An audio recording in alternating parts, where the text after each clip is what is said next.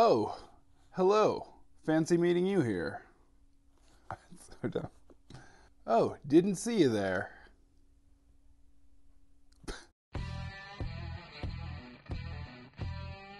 Hello and welcome to Shelf Centered. Thank you so much for stopping by yet again. Uh, please remember to like and subscribe uh, to my channel, my little bit of the internet here. It really helps a lot. And of course, only if I've earned it. I really appreciate your time though. I wanted, I was asked in my last culture review of Consider Phlebas, which was my first review of the first book, well, of, of any book in the culture series.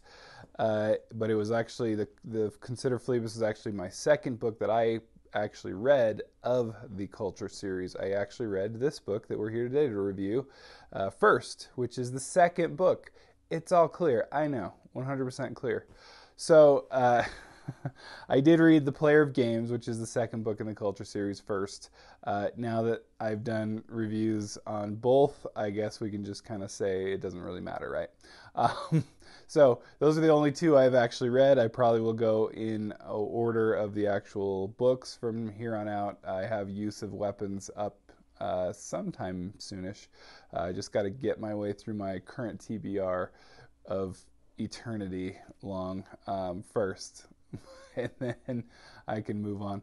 But uh, anyway, the player of games. Uh, this is one of those I I really liked. I actually liked more than consider Phlebas, even though I like I said in my last review, I really enjoyed that one. I I thought it was unique. It sets up this culture series from the essentially the point of view of their enemy. So it's kind of an interesting way to go about it. I'm kind of glad I went in first. I think with the player of games, this the player of games is a much tighter. Uh, you know, it's easy to compare the two, but it's a much tighter book. It's very focused, mostly just on this one character and his exploits, essentially, and as opposed to uh, consider Phlebas, which was kind of it felt a little disjointed at times, even though it did have kind of a, a, a full blown, you know, everything, uh, cohesive plot and everything.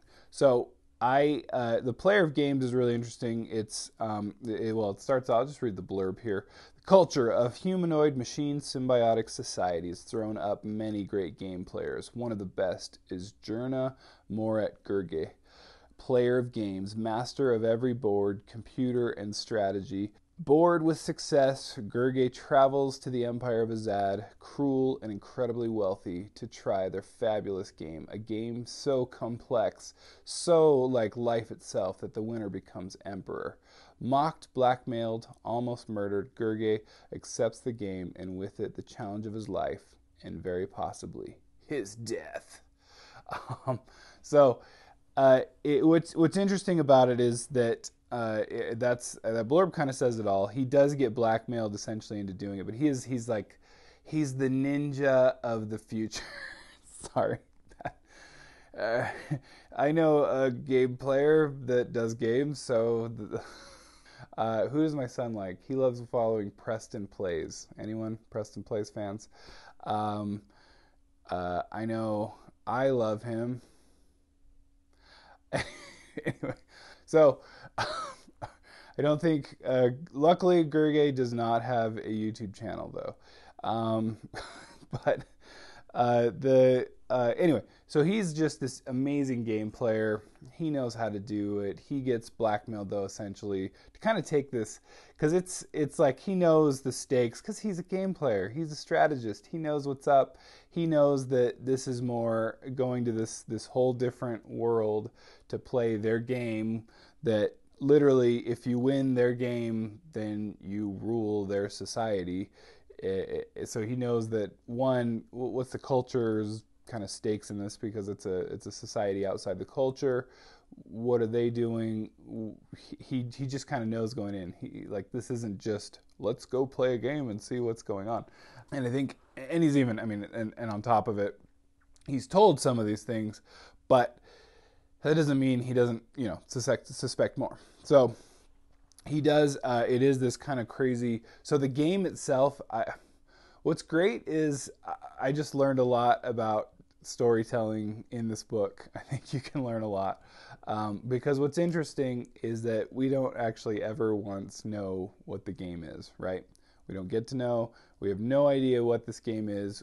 But the way that Banks is able to tell this is really, really extremely interesting. In that, you know, I'm still on the edge of my seat, getting to know, okay, well, what's what's going to happen next? What what's this? And and uh, you know, eh, oh oh no, they, they he might lose it all, and you're just like, this is crazy because you really you have no idea how or why or you know the, the mechanics of the actual game um, but the way he's able to set it up and, and essentially make it so entertaining, even though you have no idea what's actually going on, is really great. I, it's just it's really impressive. I, I thought it was so fun to just kind of I don't know experience uh, because especially the game kind of starts to then I don't know change because it seems like it does.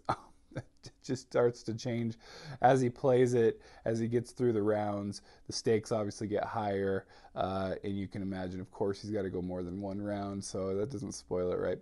Um, but it is, it's this weird. Um, anyway, and then you have like, I mean, you have like interesting characters. Like again, you've got droids or whatever. You've got these, um, what do they call it? Machines, you know, but they're part of the culture society, right? and so uh, you know, and, and, they become adopted, they can become citizens, right? And that's what at least I learned in Consider Phlebas. I don't know if I learned it in this one.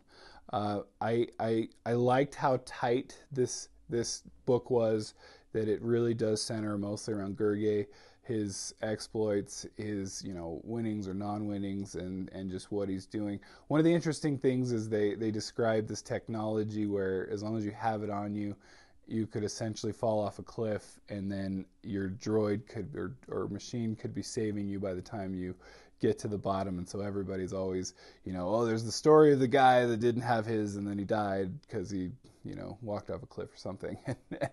And anyway it's just interesting. I like just kind of it'll just casually throw in this like interesting technology of the future. It's not what it's about but uh, anyway um, you know, and, and I think there's some deeper meanings to the player of games, of course. So what's interesting too is it, it, he's also Banks is also able to kind of pit, uh, you know, human intelligence against alien intelligence, and again, does it in a way that I was convinced of it that that, that was happening. um, again, that's uh, just impressive to me. Uh, I think that's part of why this book has really stuck with me for quite some time. Uh, I really enjoyed it. I really think uh, you got to try. I think this is a great starting point for the culture. So uh, I don't know if I, I didn't say it earlier, but it, this is no spoilers. I'll say it in the in the title sequence or whatever in the title. Um, but it's uh, it's such a perfect. I don't know. It's such a good way to get you into the culture i think. I thought i think i mean everyone thinks that the way that they did something is the best way. So of course i'm no different and i also agree with my way being the best way. So um, uh, but I, I, do i thought this was a good way to get into it because it is it's it's a lot more um, it's just a tight knit structure of this this novel.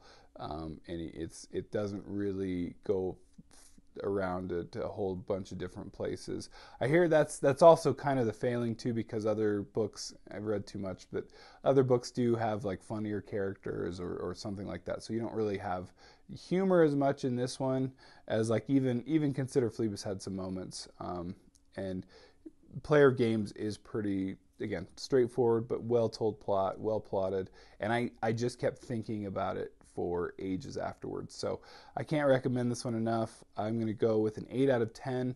I thought this was great. I, I guess I'm maybe hedging my bets with these kind of early novels because I do hear it even gets better, and I'm excited to, to read more in Iain M. Banks' Culture series. Check it out. All right. Hey, thanks again. Thanks again for liking and subscribing, and I'll see you next time. Bye.